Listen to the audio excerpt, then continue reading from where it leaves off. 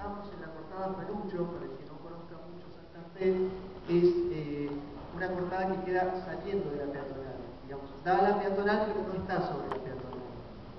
Es un lugar donde eh, al principio nos pareció que iba a pasar mucha gente, por eso se desplazó ahí primero el paseo, y en los hechos resultó que no, no pasaba gente por ese lugar.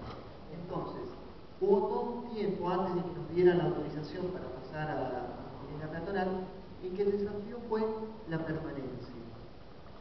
Que eh, el paseo se sostuvo gracias a un grupo de gente que se bancó estar ahí sábado tras sábado, muchas veces sin vender nada, con la esperanza de que construyendo algo colectivamente fuéramos a llegar a hacer del paseo algo que funcionara.